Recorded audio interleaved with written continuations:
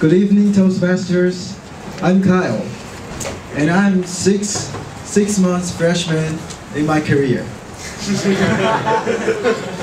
and also, I'm new promoted small group leader in my office. Thank you. And before, uh, at the beginning of my speech, I want to do some research. Is there anyone who's not a student? Please raise your hand. Oh, thank you. But I think most of people are students, so maybe I choose the topic too early. okay, I'll do that again. Is there anyone who is going to face the face the pressure of finding a job in one or two years? Please raise your hand. Okay, a little bit more. okay, great for you, good for you because I'm going to tell you the tips for you to survive in your future future job. Thank you. okay, the first tip is the first tip is be stupid at the right time. yeah, I know that. NTU students are very smart. And if I want to ask you to be pretend stupid, then maybe a difficult, maybe very difficult. But in the working working place, sometimes you have to be careful of those who are jealous about your intelligence.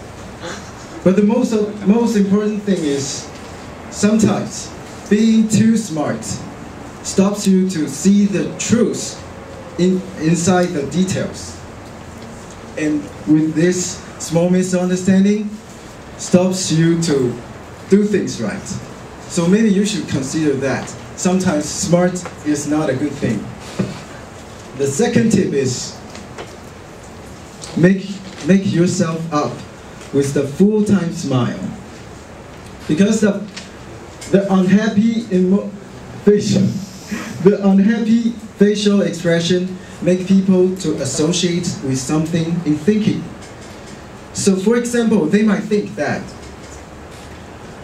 is he unsatisfied with my appointment? Or, how dare a freshman look, look down upon me? And they might not know that you just ate the wrong thing in the morning and now in the hurry to go to the bathroom. But the only thing they sure know is, in this case, you're in danger. So the third tip is try to be a helpful assistant.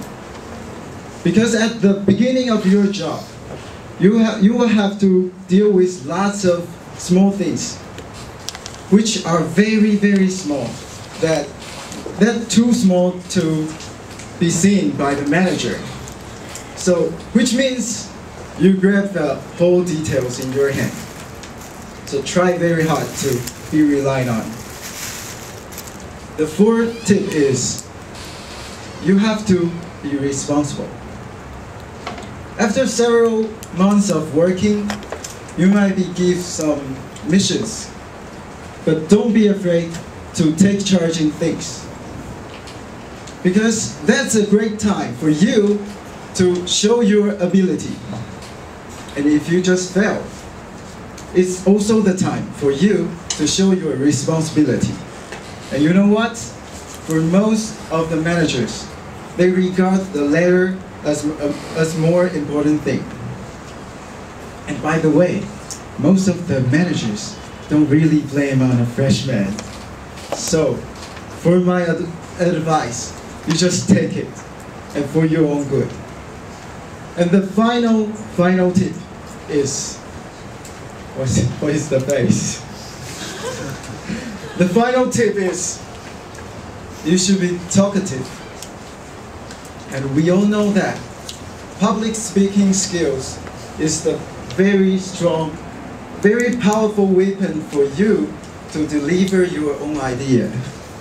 And we also know humor can easily break the ice.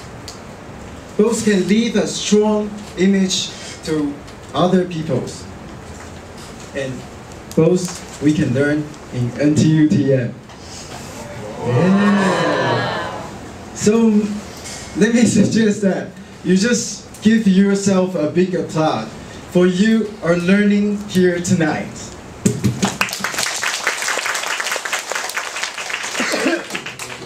Thank you. Although that's not for me, I still feel nice. so at the at the end of my speech, I want to remind you the five tips again. Stupid and makeup.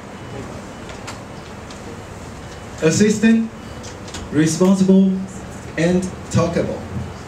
With these five tips, I believe in the future. You will work more S M A R T. So let's be smart. Toastmaster of the evening.